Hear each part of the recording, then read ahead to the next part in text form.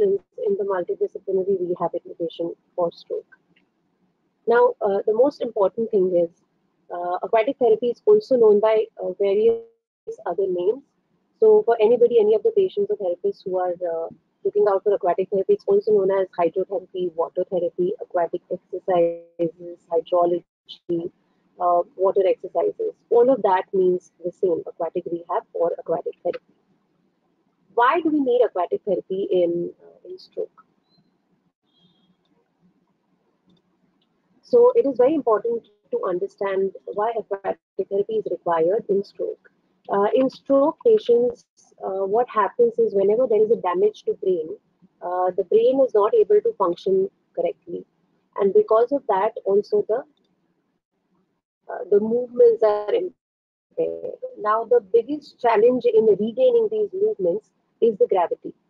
Uh, when there is muscle weakness, uh, person is not able to perform movements against gravity. So the biggest advantage of aquatic therapy in this rehabilitation is that it's able to defeat gravity. How we can achieve this with aquatic therapy, I will share with you shortly. Uh, it helps in facilitation of movement. So water, along with providing a little bit of resistance to the movement, it also supports a person or supports a body part.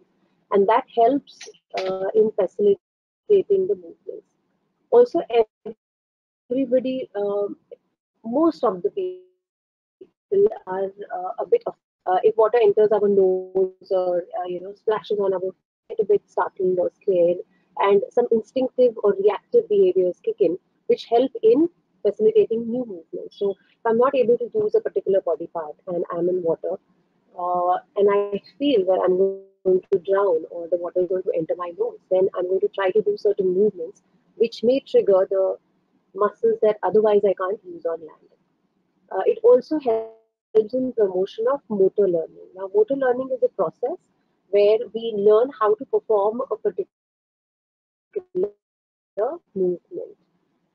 Like we learn how to read, we also learn how to perform movements. Since childhood uh, or since birth, the body uh, gets a lot of experiences through various sensory systems like vision, hearing, touch, and in response to those sensory systems, we perform certain movements. And these movements are recorded in the brain. And the brain continuously fine tunes uh, to perform the efficient way to achieve uh, the you know the required outcome. And this whole process is called motor learning. Like any kind of learning, repetition helps in motor learning. So water or aquatic therapy helps to promote this motor learning as well. It helps to strengthen the muscles. Strengthening of muscles uh, can be achieved with aquatic therapy. And certain muscles that we may not be able to address on land, certain muscles that we may not be able to facilitate on land, we can facilitate in water uh, in a better way. It also helps to prevent fibrotic processes. Now, this is something very important because fibrotic processes uh, basically means scar formation in, in, our body or the tissue. Uh, we know that whenever uh, we get an injury, so suppose I cut my hand and then this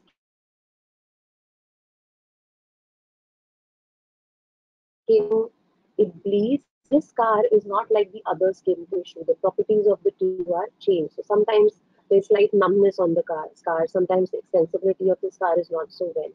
So any scar formation in the body, uh, it changes the tissue, uh, quality of tissue. The same happens to the muscles, nerves, and all the other connective tissue in the body. So when a person gets stroke or paralysis, what happens is initial few days the brain is not able because the brain is damaged, brain is not functioning.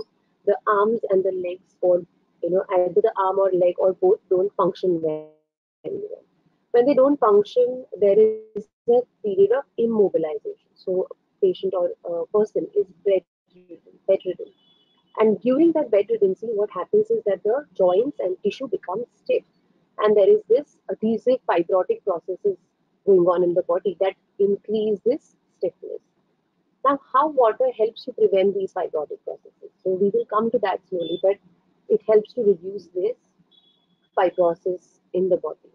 It also reduces the inflammation in the body, and therefore it helps to directly address the physiology of the stroke itself. So it helps to reduce the neuroinflammation and inflammation in the body overall. It also helps to reduce the joint dysfunction. Now, uh, I'm sure you, uh, all of you must have uh, seen uh, either, you know, your family members or your relatives or somebody you know uh, who've had stroke and the way they walk or the way they perform movements, or you might have seen it in the, you know, in the in the feature films or on the TV. Uh, when they walk, there is a slight limp there because there is muscle weakness. So the pattern of movement is considerably changed. When that is changed, there's a lot of stress on the joints because they are not in their optimal positions. So people may walk with the knee slightly bent or their foot may fall down and because of that the foot turns inside and they may walk on that foot. So because of this, the joints can be damaged. But this joint dysfunction can be prevented in water because of the weightlessness that water provides. It can also help to improve the cardiovascular endurance. This is one very good benefit as uh, compared to land-based rehabilitation. Uh, because it's difficult to perform movements against gravity, the mobility of patients is considerably reduced. They're not able to walk, or sometimes they're not able to perform even the bed mobilities like turning in the bed, sitting up in the bed. And because of that, there's a lot of pooling of blood or stagnation of blood in the extremities, like the legs and the arms. And the blood circulation is not occurring properly because the person is not mobile. But if the person is immersed in water, this blood circulation can be enhanced. We will be discussing about this in a, in a short while. So it improves the cardiovascular endurance. It also helps to improve the respiratory strength and endurance. So when there is uh, weakness of the muscles, the breathing also is affected. The breathing is also altered. And the respiratory muscles may also undergo weakness because of the small, uh, because of the uh, lack of the movements and mobility in, in one's body. So water or aquatic therapy can also help to improve this respiratory strength and endurance. So what are the unique properties of water that make it a good environment for doing therapy. So water is colorless. So it's possible for a therapist to see the patient without any barrier. It is odorless. Uh, it is a good solvent, good conductor of heat, and good conductor of electricity. So the last point is something that we need to be wary of or we have to be careful about.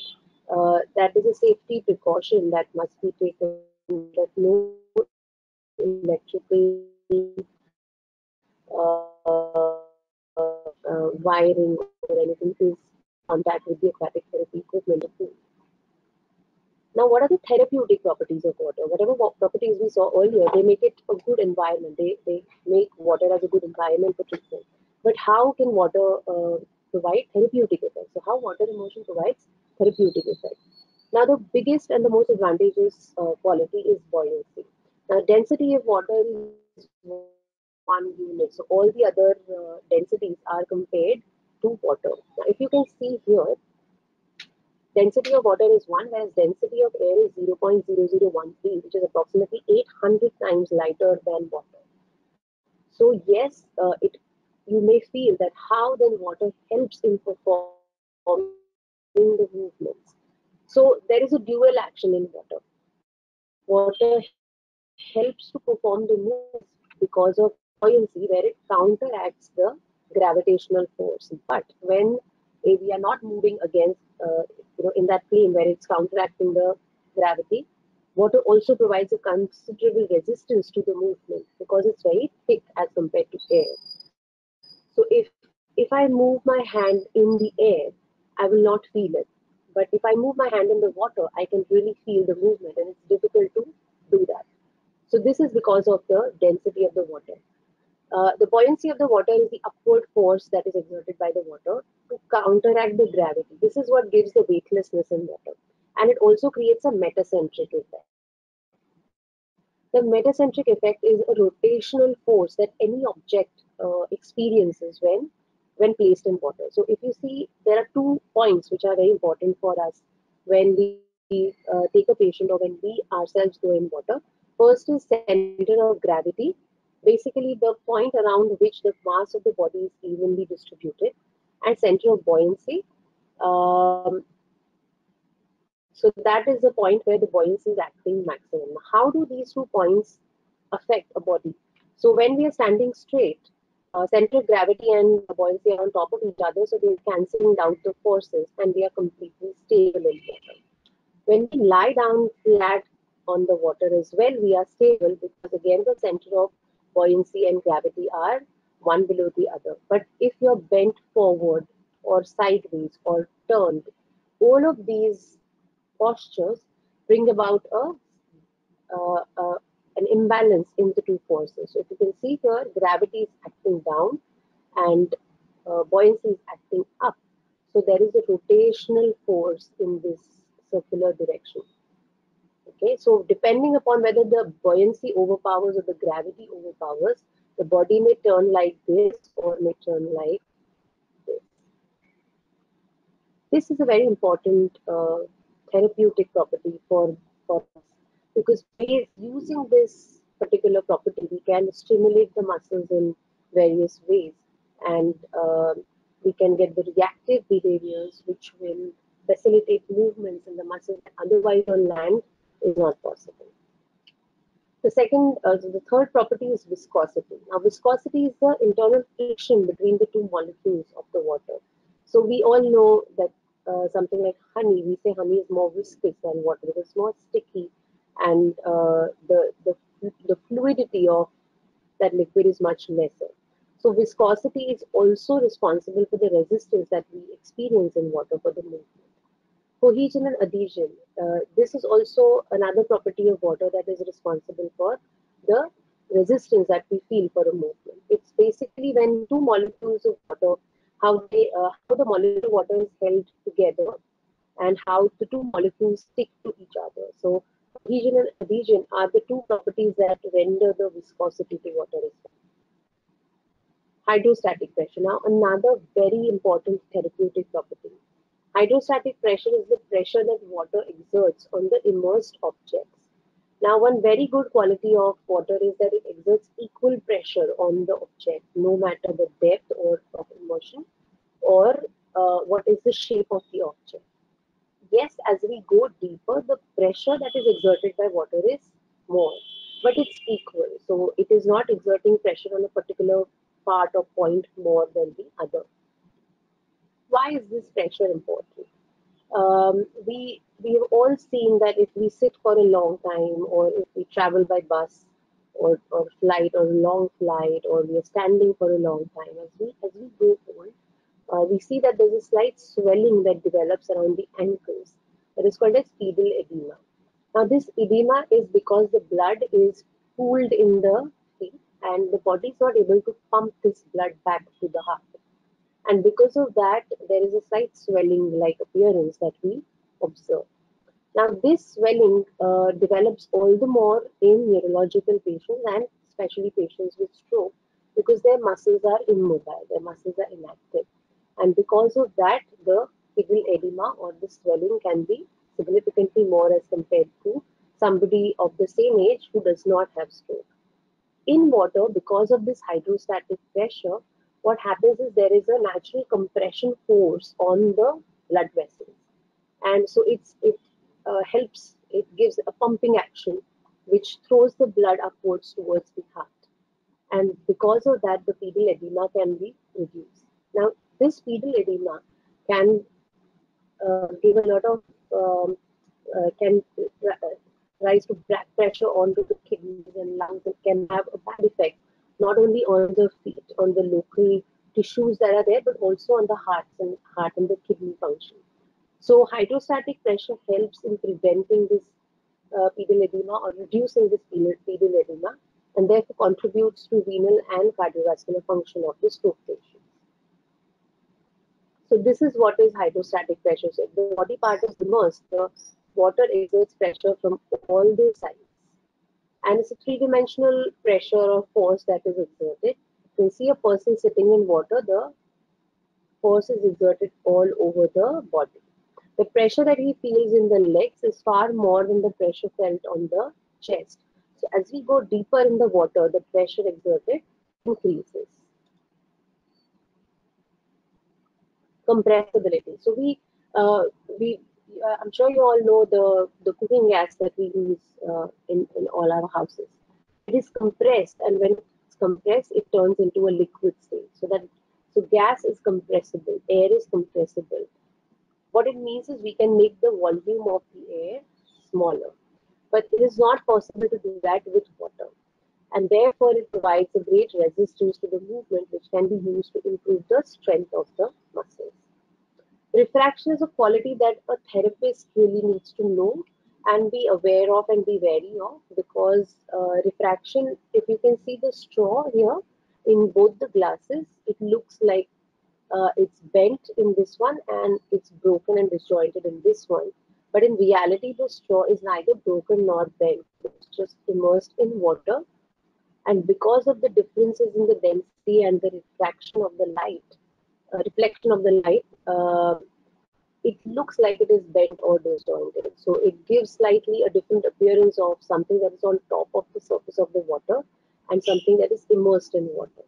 So this is something the therapist needs to know when they're observing the patient and their movements and account refraction uh, so that when you're assessing somebody in water, uh, you know that okay, if there's some uh, you know some abnormality or some deviation, it is not because necessarily because of the the body posture. It can be because of refraction of water as well.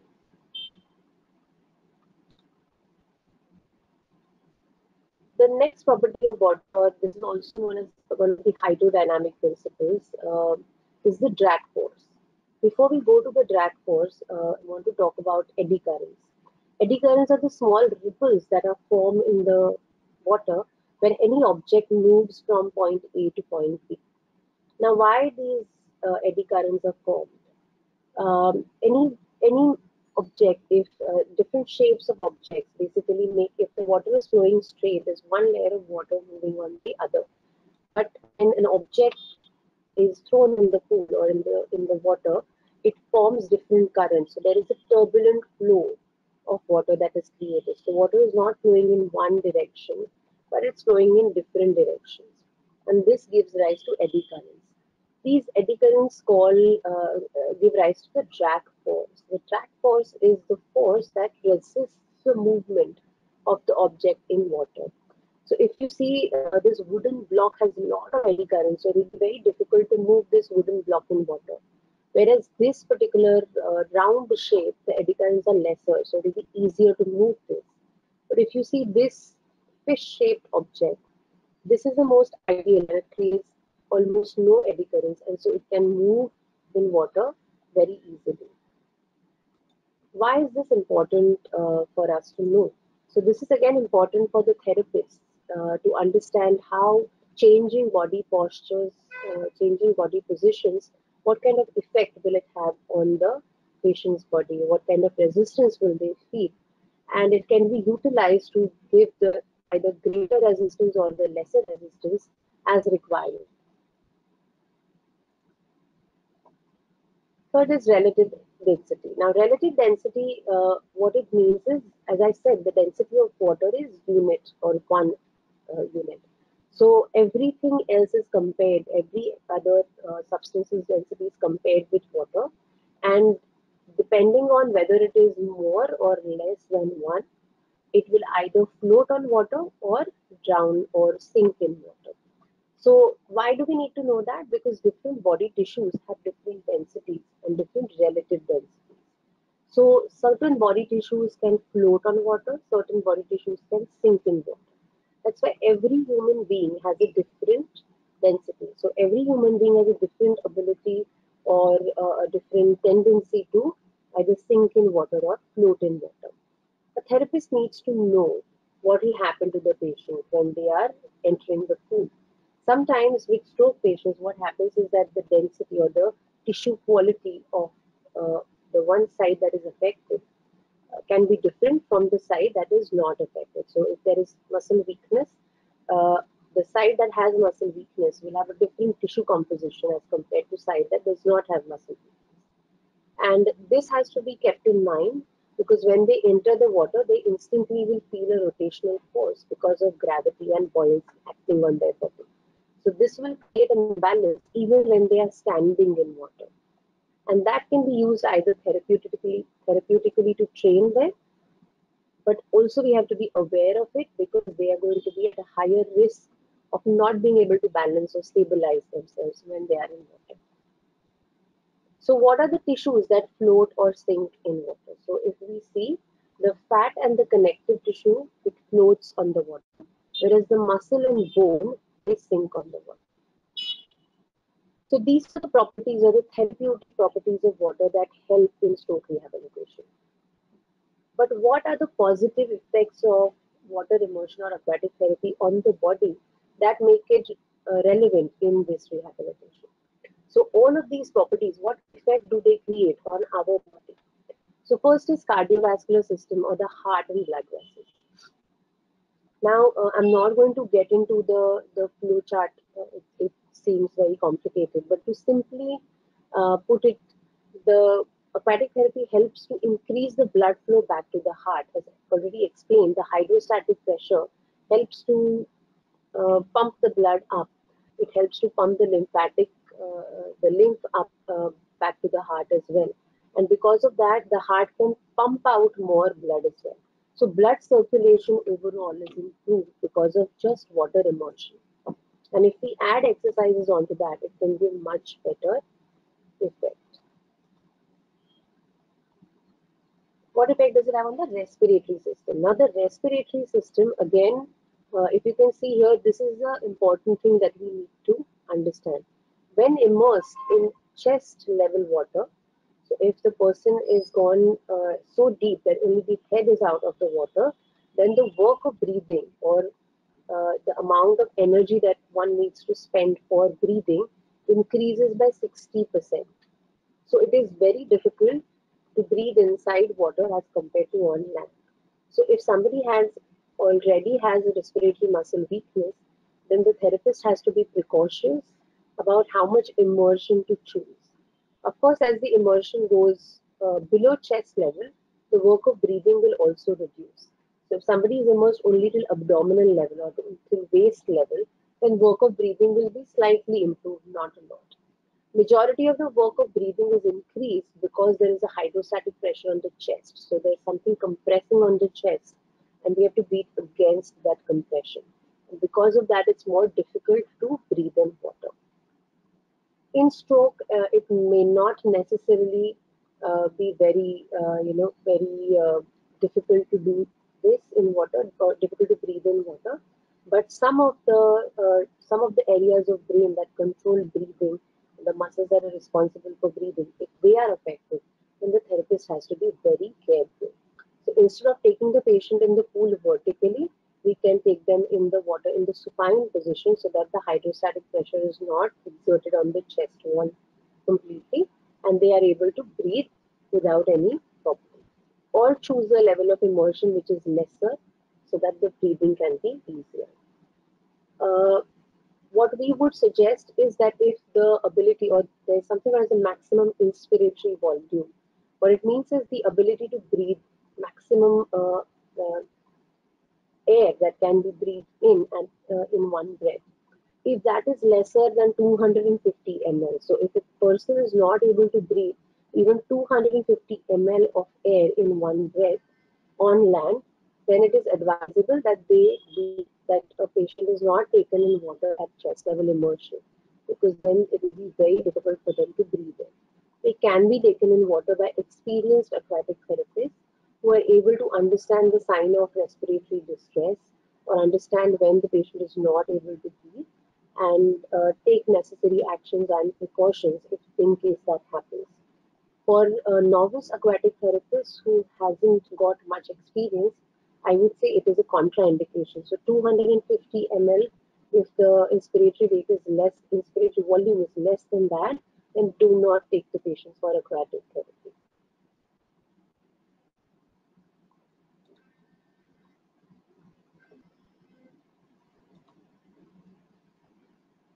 The renal and endocrine system. Now, the renal system is basically our kidneys, and endocrine system is different hormones that are released in the body.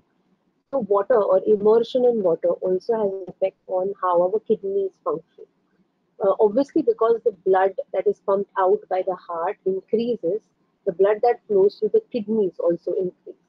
So the filtration of the blood uh, is much, so there is more volume to be filtered and therefore the filtrate is also more. So naturally when a person is exercising in water, they are they feel like going to the toilet much more often or much sooner as compared to land. This also helps to reduce the edema. So the pedal edema that I spoke to spoke to you about uh, in, in the beginning, uh, that can also, if the filtration improves, then the the water that is stagnated in the interstitial compartment will also be removed effectively.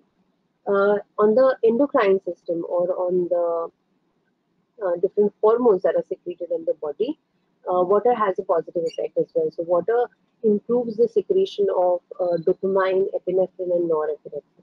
Now, dopamine is the is the hormone that is important for movement. So voluntary movements and movement control. It's also the hormone that uh, that um, gives rise to happy emotions or it controls a little bit of uh, emotional aspect also in human beings. And epinephrine and norepinephrine also are responsible for positive emotional effect on, on a person. So increase in these, uh, increase in the secretion of these hormones um, doesn't only have a good effect on the physical aspect of the stroke rehabilitation, but also on the cognitive and mental aspect of stroke rehabilitation. So a lot of patients who undergo stroke, they experience uh, different psychological uh, symptoms as well. There can be depression, anxiety uh, in these patients, uh, either because of the condition, uh, because of the disability that they are experiencing, or because the because of the brain area that is affected or involved. And secretion of these hormones can really help to relieve those symptoms as well.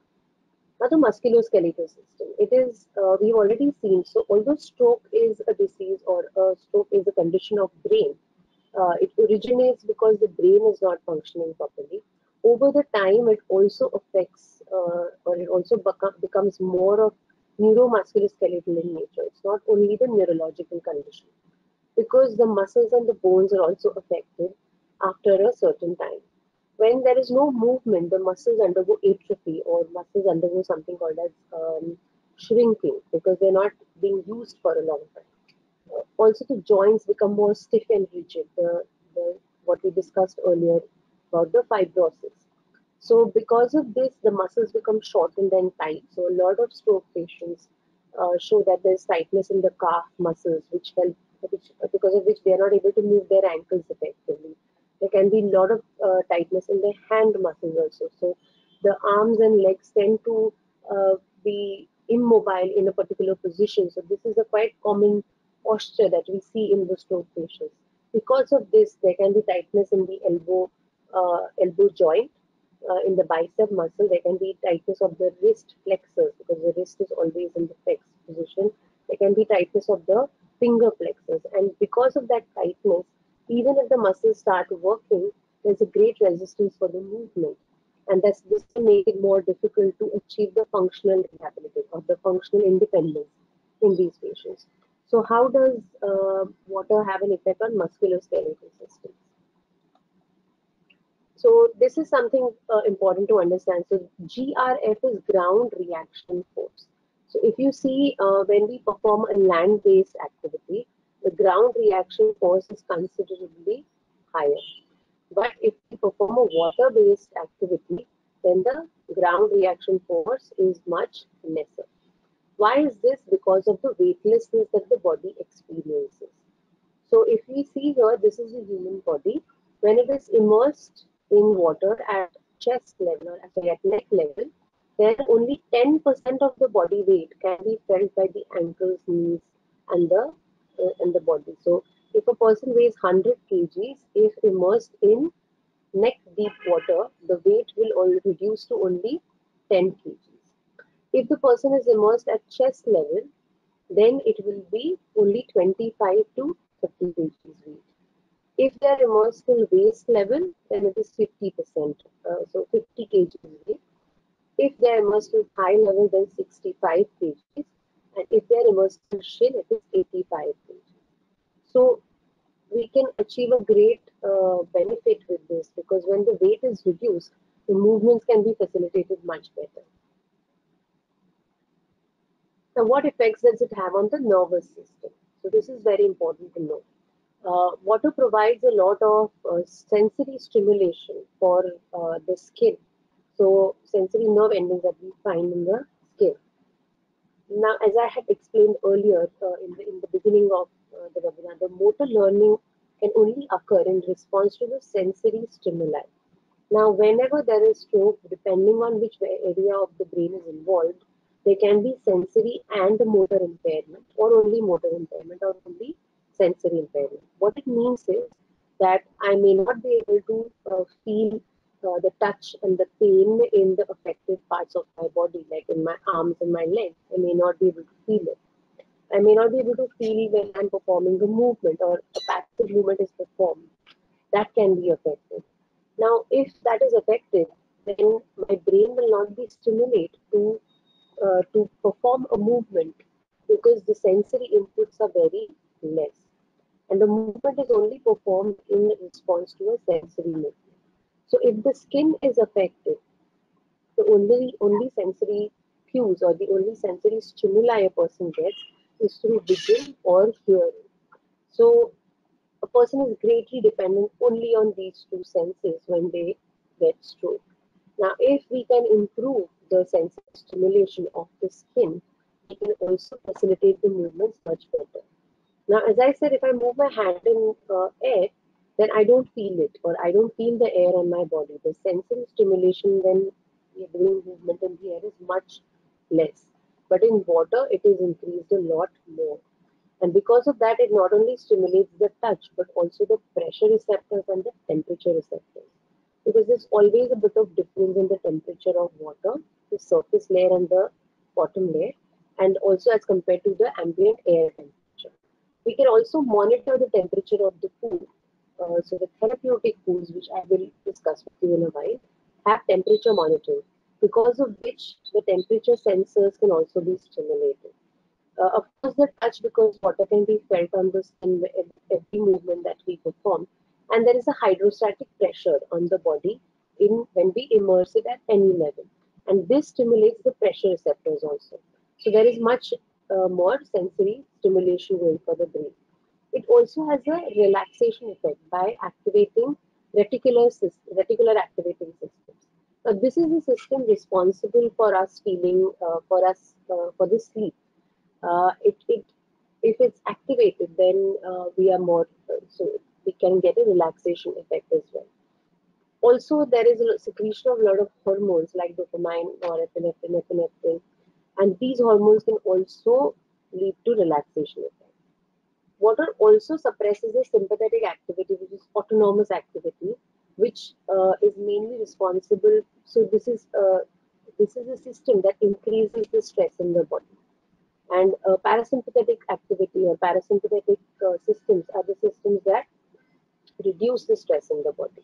So suppression of sympathetic uh, system reduces the overall stress in the body and we feel relaxed. Uh, it also it reduces anxiety and water also helps in secretion of certain neurotrophic factors. Now, what are neurotrophic factors? These are the chemicals that help to uh, prevent the damage to the nerves or damage to the neurons. Uh, and it also, there are certain factors in this which also help to reduce the inflammation or the swelling of the tissue inside the body.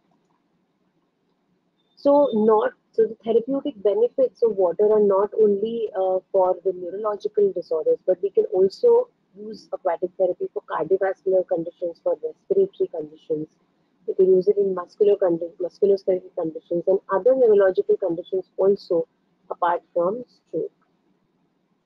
We can also use in different uh, uh, disorders that children uh, uh, that are seen in children, so pediatric conditions and uh, disorders that are seen in old, uh, at old age or elderly individuals in geriatric conditions.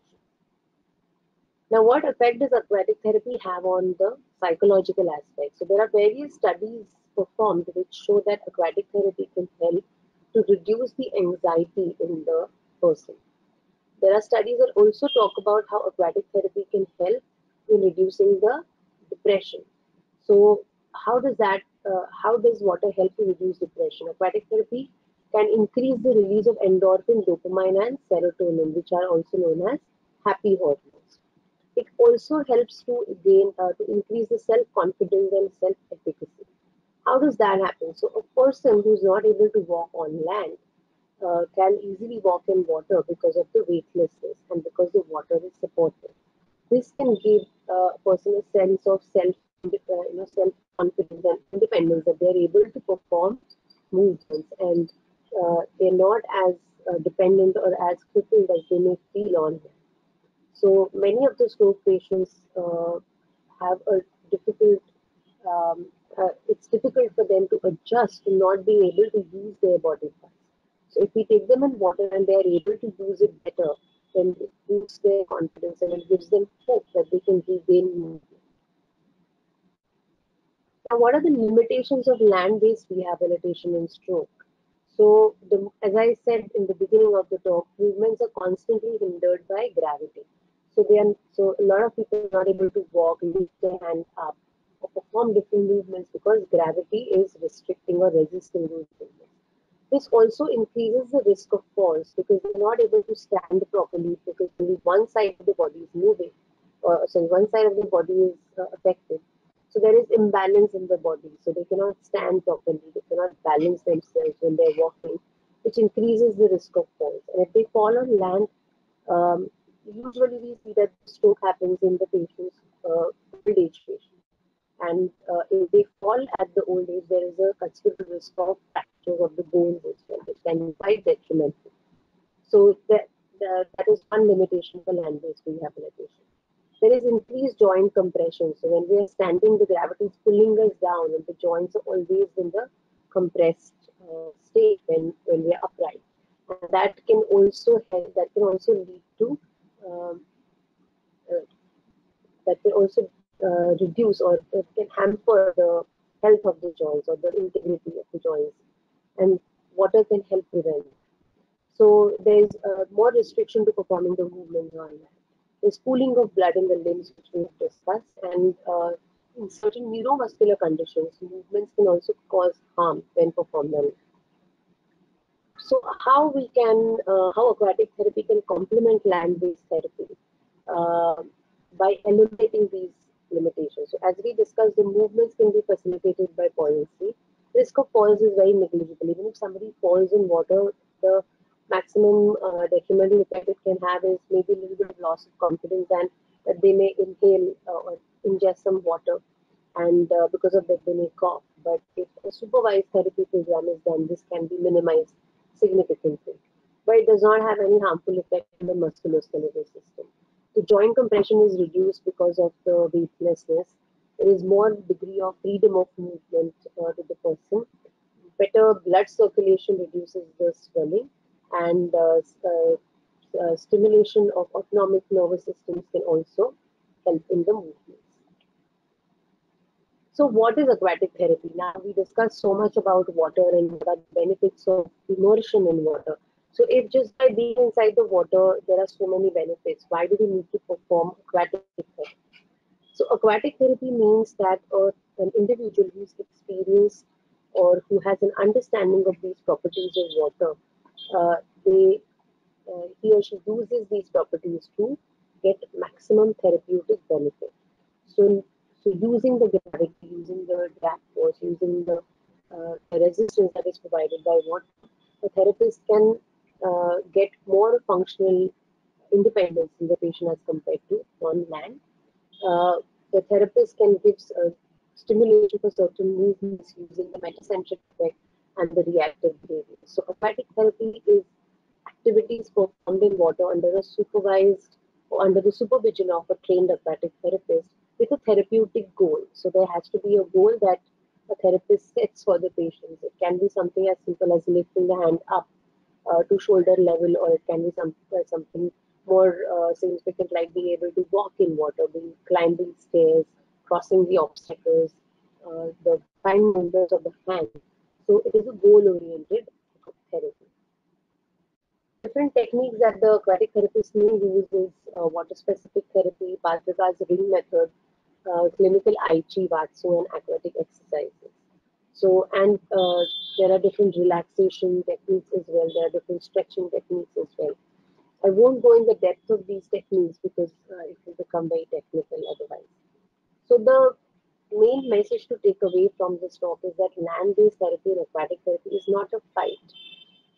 It's not that we are trying to counter or we are trying or we're trying to find an option for land-based therapy. It is a teamwork. So whatever limitations we face in the land-based rehabilitation, we can uh, reduce those limitations with aquatic therapy. So it has to be done together simultaneously. Uh, and the land-based therapies and aquatic therapists have to uh, discuss with each other to achieve maximum or to give maximum benefit to the patient. So where can aquatic therapy be done? Aquatic therapy can be done in public swimming pools with uh, experienced therapists, or it or it can be done in the therapeutic pools. So this is how a therapeutic pool uh, may look like. This is the pool that we have at our center in Neurogen Brain and Spine Institute. If you see the pool, uh, the uh, there is uh, an entrance for the therapist, but there's also a facility for patients who are not able to walk. So this is a chair that can be lifted up and then it can be taken inside the pool. So the person or the patient can be seated on the chair and then they can be taken in the pool where they can perform exercises and then can be taken out. So this is a very important aspect of therapeutic. Uh, therapeutic pools have a temperature control or temperature monitoring or heating uh, systems in place so that the water can be heated to a particular uh, temperature as required for therapy there is an easy accessibility for patients. So if we see public swimming pools, there's usually a ladder. Some may have steps, uh, and there can be some difference uh, between the deck of the pool and the water level. This may this may create difficulties for patients who have neurological uh, disorders, like in stroke patients who are not able to move uh, uh, correctly. So they are not able to walk. Some patients may not be able to sit without balance also uh, sit without support, sorry, or balance themselves uh, without support in sitting posture. So it is very difficult for these patients to to be taken inside the pool in public swimming pools. So therapeutic pools have a ease of access. The water temperature is monitored. Also, the quality of water is measured and monitored very rigorously in the therapeutic pools. So uh, the water chemistry uh, is checked every week uh, also, any biological contamination in the pool water is also monitored very strictly in the therapeutic phase. Um, certain points uh, that uh, should be discussed are contraindications for aquatic therapy. So, which are the patients that cannot do aquatic therapy, or which are the patients for whom uh, it may be more, uh, it may it may be risky to do aquatic therapy. Now, if patients have any wounds, any open wounds on the body, then they can't be taken inside the water because the wound can get infected or the wound healing will be hampered when they are in water if the open wound is exposed to water. There are certain uh, methods available to make sure that the wound is sealed off from the water. So there are bandages that can be used, uh, waterproof bandages, and these bandages can help uh, take the person in the pool. So it is a relative contraindication. But for novice therapists who don't have uh, the experience of how to handle uh, open wound in water, uh, it can be considered as a contraindication. Another contraindication is for patients who don't have bowel bladder sensation or control. What it means is that patients who are not able to understand when they want to go to the toilet. Uh, why is this? It's again to maintain the pool hygiene. It is a big risk to maintain the pool hygiene, and also uh, it's a risk of hygiene for the patient themselves. So again, there are certain diapers and uh, certain swimwears that can be used so that uh, the know, there is no contamination in case if there is an accident in the pool. So this is also relative contraindication, but it may be difficult to take patients who don't have bowel bladder control in the swimming pool. Thirdly, some of the stroke patients also exhibit that they get epilepsy or seizures after stroke uh, if they get these epilepsy attacks or seizure uh, during uh, rehabilitation, it can be detrimental, can be fatal also, and it's a big risk for their health. Also, the reflection and the reflect refraction of light from the surface of the water can sometimes even trigger seizures, and therefore it is a relative contraindication. Again, an experienced therapist may choose to take patients with seizures and epilepsy in the pool uh, if uh, they are confident about being able to manage the patient if there is a seizure while they are performing the treatment. Uh, another contraindication is, is, if the patient has any cardiac conditions. So some cardiac conditions, uh, it may be difficult or may, uh, they may exaggerate like tachycardia or uh, certain, uh, you know, um, the fibrillations that it's better not to take them in the pool because if the person gets any cardiac event, uh, the evacuation may be difficult or it may take more time to get help and such patients should not be taken in there. If the patients have any respiratory diseases that limits their ability to breathe, then uh, they should be taken in water with some precaution. Any skin uh, allergies or infections, uh, patients should not be taken in water. People who have hydrophobia or fear of water, or people who have chlorine uh, allergies, or there are certain uh, chemicals that are added to water to keep the water clean. Somebody has an allergy of that, then they can't be taken in the pool. Stroke patients who have aphasia. So aphasia is a symptom of the stroke where the patients are not able to speak clearly or uh, they are not able to uh, understand what the other person is speaking. In either of these conditions, it may be uh, there. It is there has to be precaution taken before taking them in the swimming pool. They're not able to follow the commands, or if they're not able to express themselves uh, what are the benefits of supervised therapy? So, why should we do supervised therapy for stroke patients? So, in stroke, what we what uh, evidence is also shown is that the spasticity, the tightness, uh, or the resistance that happens to the movements can be reduced with aquatic therapy. We can improve the muscle strength of the patients. We can stimulate certain muscles otherwise it's difficult to stimulate on land. The balance of the patients can be improved significantly uh, even better than what a land-based rehabilitation can do. So balance in standing and walking can improve much better. Also dynamic balance in sitting when we perform movements, that balance can be improved in water much better.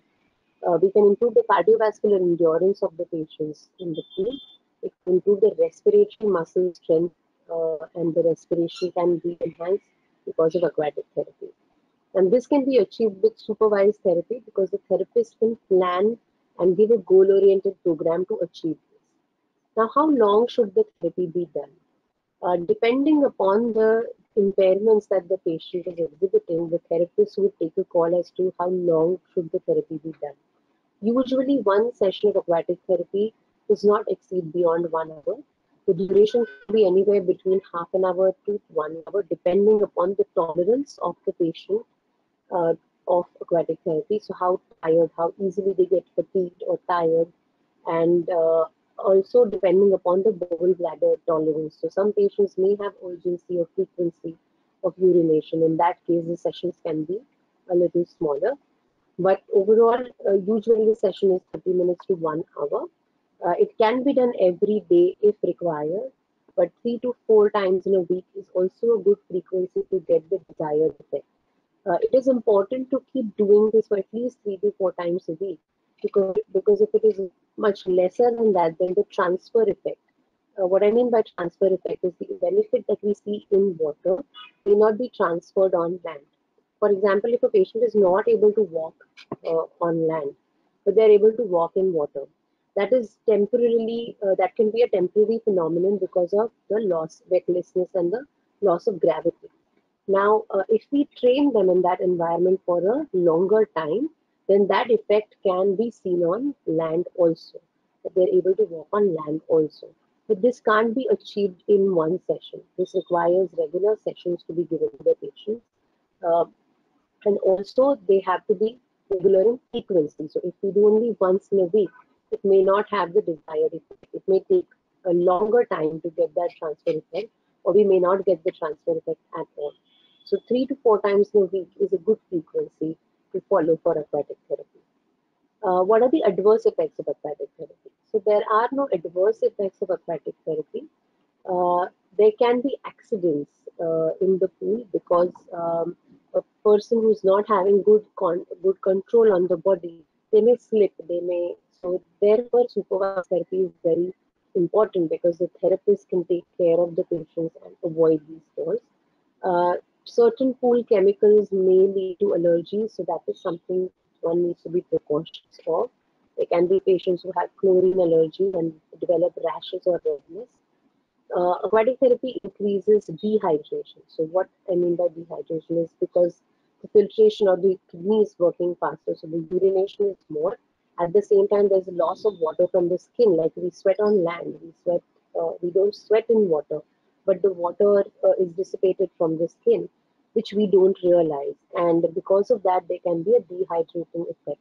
A commonest way to find out when we are dehydrated is to see our fingers, they prune. So we develop wrinkles on our fingers, and that usually happens when the water content is lesser or there is a bit of dehydration in the body. So it is important that we keep sipping on water and keep ourselves hydrated when we are doing exercises or when we are making patients do exercises as well.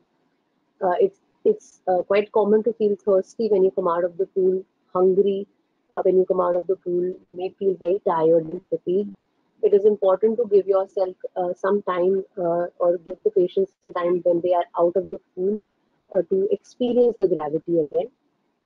If uh, there is a graded pool, so what I mean by graded pool is that the depth uh, of the pool is varying. Uh, then we can start in the deeper end of the pool and slowly move towards the shallower end so that the gra gravity can be felt by the patient and the effect of gravity can be increased gradually and once they go on land, they can adapt to that sudden increase in the gravity much better. Uh, it's uh, they may have a little bit of imbalance suddenly when they are on land.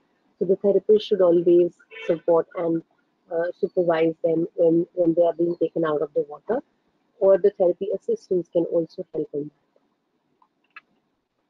So what is the evidence for uh, aquatic therapy uh, in water? So if you see here, uh, the dual task training, so uh, being able to perform two different tasks at the same time, uh, it has a positive effect on balance um, and gait in stroke patients. So this performed uh, in water gives a uh, gives a benefit for balance and gait in stroke patients.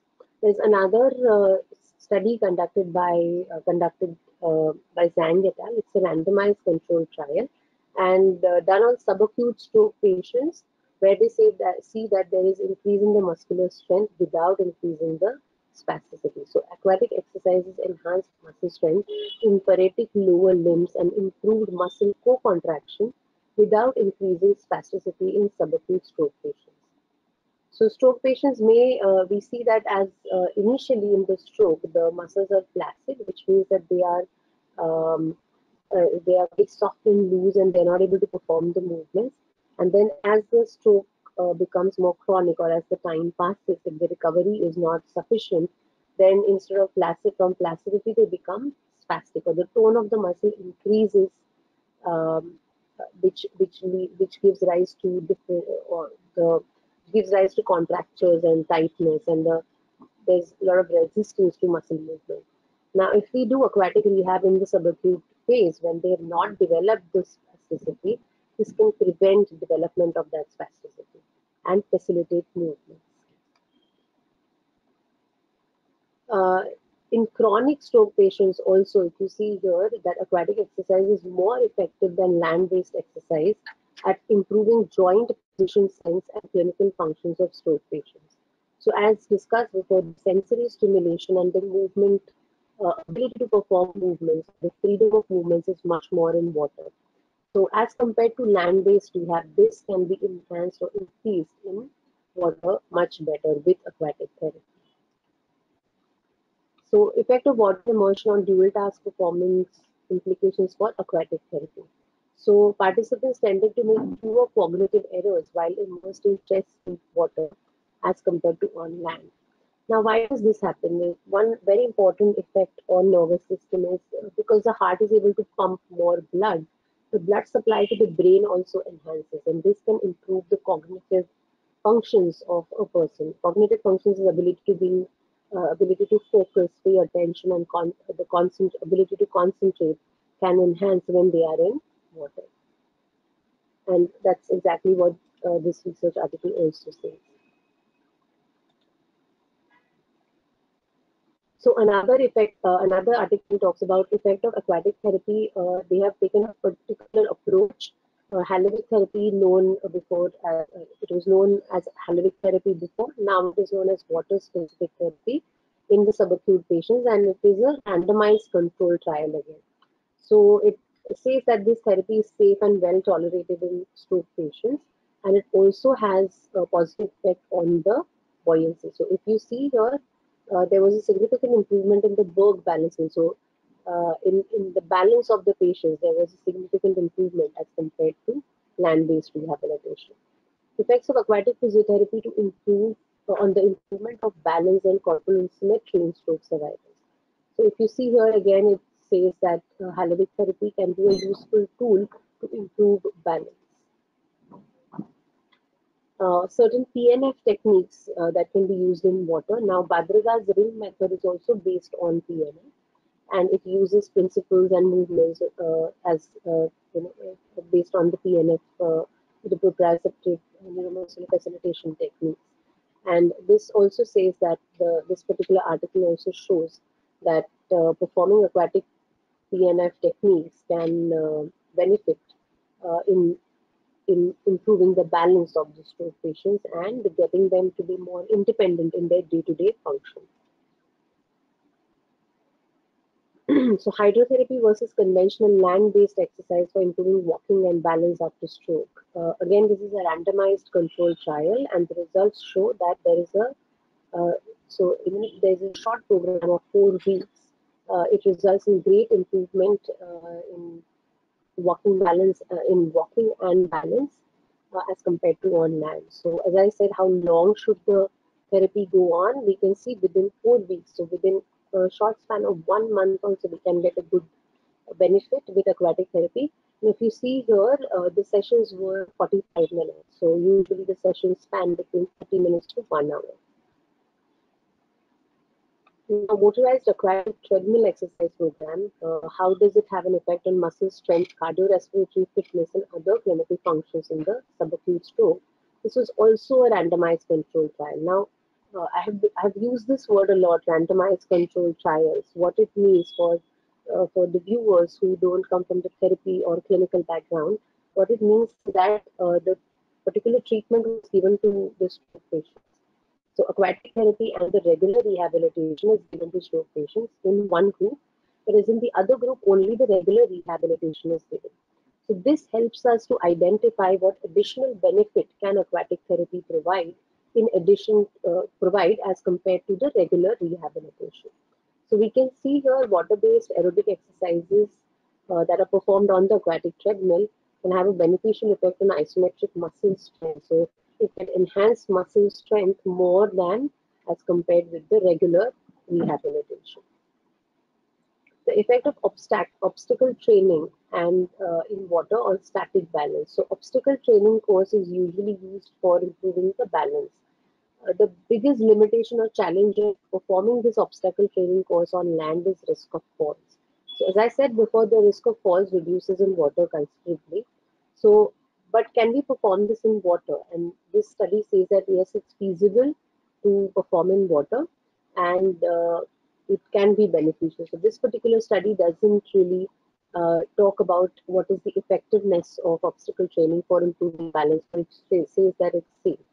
Again, if you see here, they perform the exercise three times a week for almost four months, uh, sorry, for four months, and the sessions were usually 40 minutes long.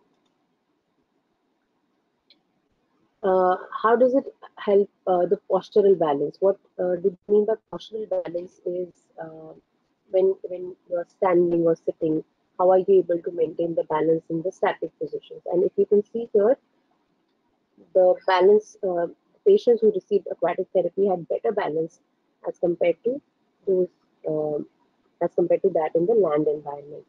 So uh, this particular study talks about how if what effect water immersion has on the body rather than the aquatic therapy. Also, uh, if, if you can see the systematic review shows that in various neurological disorders, there is a fair uh, evidence to support that aquatic therapy can be beneficial.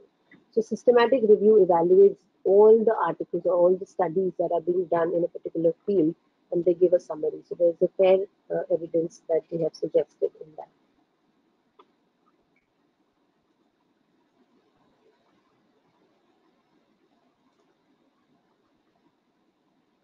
So this is the aquatic therapy department that we have at the Neurogen Brain and Spine Institute. Um, we have other doctors like Dr. Shruti Shirke, Dr. Uh, Vivek Nair, Dr. Arjun, and recently we had Dr. Rabab joining us in the department. And I have mentioned this because whatever I've been able to present to you, uh, all the the patients treated, all the evidence that we have is all because of the teamwork that we do. So I would like to thank my team uh, for all the support uh, that they have provided so far.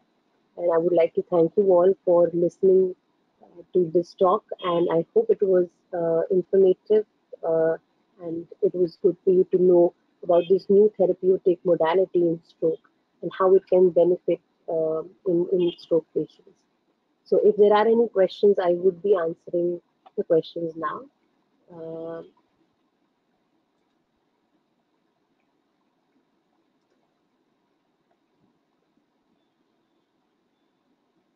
and just be reading the questions.